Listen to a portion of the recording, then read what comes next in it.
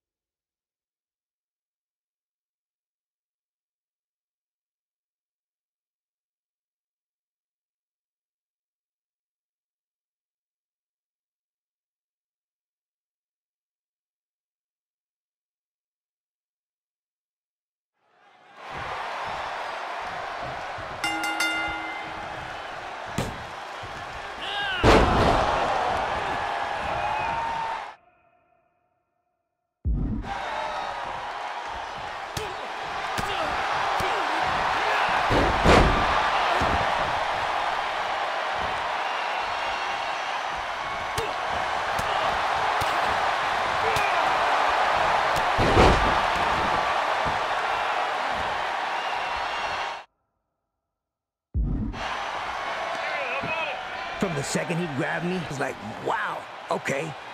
I knew at the beginning of this that he was going to bring a fight, but he really brought the fight.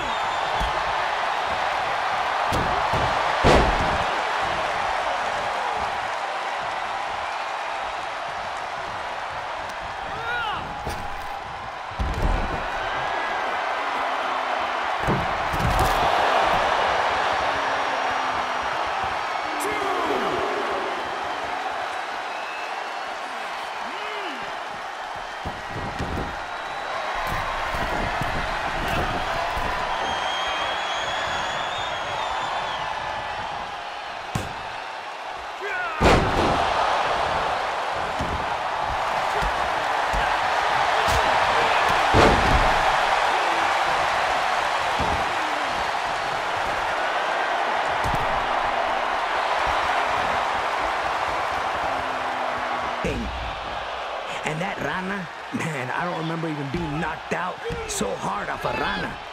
Normally it's me giving them, not taking them.